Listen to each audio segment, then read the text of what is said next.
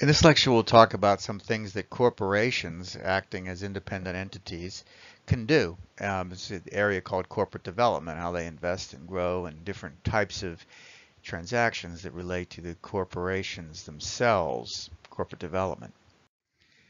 One thing that sometimes you hear about is hostile takeovers. Um, this is, they occur when an individual or company attempts to take over a corporation, it attempts to buy a majority of the shares in a company for the purpose of going in, taking over ownership, and then restructuring the management team or the board of directors or both. These are different than mergers and acquisitions because there's no mutual agreement for the transfer of the company or ownership.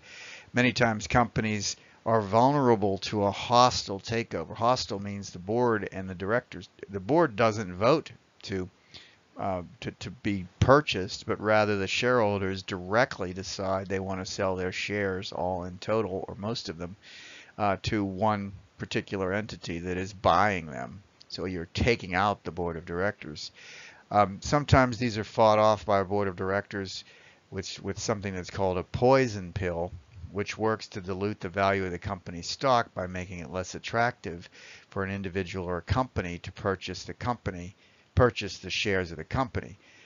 The poison kill, the poison pill, which might be a payment of some kind uh, to increase the cost of a takeover, can also serve to decrease the stock value of the takeover company if they follow through with the takeover. So, so they put in place something where the organization loses if it's taken over and therefore no one wants to take it over because it has this poison pill, like the suicide pill in the of the old spy movies. So that's the notion of the um, hostile takeover.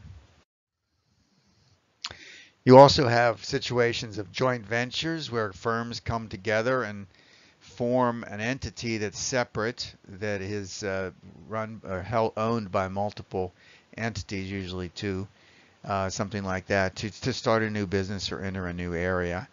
Um, these are other ways. This is another type of ownership, but it's also a way to develop a, uh, for a, a, corporate entity to expand beyond its current reach.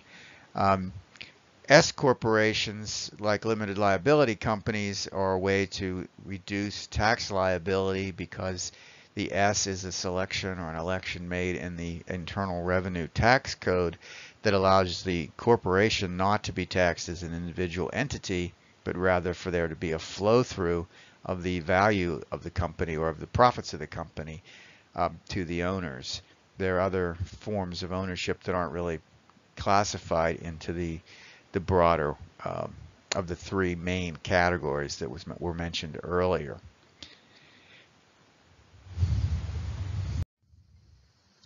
We also have a category of employee-owned businesses. These uh, are companies that have proven to be successful on many fronts, whether the company is large or small. Employees who have ownership tend to have a higher sense of loyalty to the company. They understand the profits of the company and the, and the fact that their activities are driven by profits because there's mutual interest between the ownership and the worker. Um, there's also two types of employee ownership structure. One is called the equity benefit plan. The other is the employee controlled company. The equity benefit plan offers the employee a stake in the company without really having voting rights. So they get value from their work, but they don't really have decision making. Uh, they can influence the decision making directly.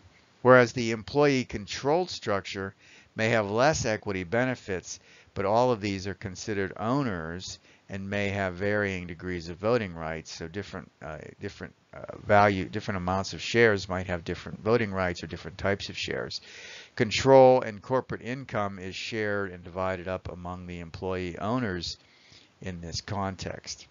So these are some other more uh, more unique uh, types of structures that are often uh, identified and put in place as well. Back towards the uh, the corporate development activity, there are mergers that occur between organizations of any of these various types. A merger occurs when businesses combine their assets. and there, there's uh, the surviving entity could be either one of the two, but generally there's a combination of uh, usually corporations, um, and they end up forming some new business, some some new uh, entity. Uh, one could be the surviving entity or the other. Generally depends upon what's how what has the best tax position or assets position or brand value. Business growth and improved profitability through the expansion in this way are important considerations. New product development, new markets, expanding operations, these are all ways to grow a business. But they also grow by merging with other companies, taking other entities as part of the of a larger surviving organization. A merger then is the combination of two companies to form a new company. When firms make or sell similar products, they're called a horizontal merger, meaning two people that used to compete in the similar markets merge together to, uh, and, and, they now have combined market share as one entity. Uh, when Martin Marietta and Lockheed merged, they became Lockheed Martin, for example. That's a classic case of a horizontal merger. When companies operating at different levels in the value chain merge, it's called a vertical merger. If Burger King, for example, were to purchase a large Idaho potato farm, that would be a vertical merger because the uh, the retail outlet with contact to the customers would would take control of some one of its suppliers so it could reduce the risk of having a loss of supply or potentially pricing risk if the potato uh, crops were in some parts of the country became more scarce and prices went higher, they would essentially have control of the potatoes they need.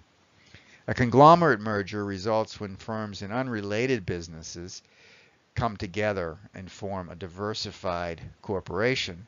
The purchase of Sterling Drug, a pharmaceutical firm, by Eastman Kodak, Kodak is an example of a conglomerate merger. Another example is uh, of, of a business growing by acquisition is Google. In 2013, Google paid $3.2 billion for smart home company Nest Labs. Nest Labs the company was just one of the many acquisitions that Google made during that year.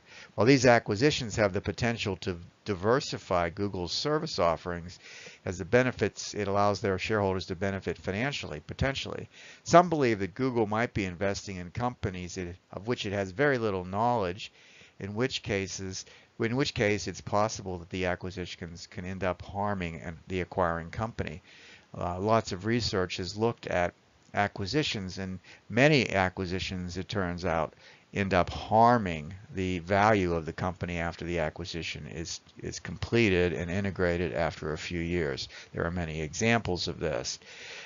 However, they can also be very effective at allowing an organization or allowing a company to consolidate its position within its markets or to enter new markets which it would otherwise have to build internally.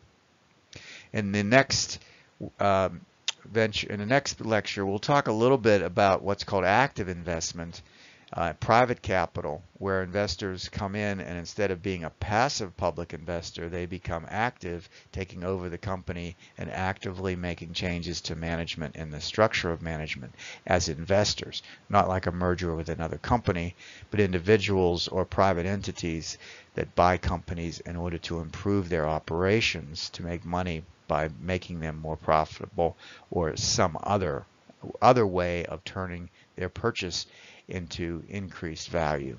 We'll talk about that in the next lecture.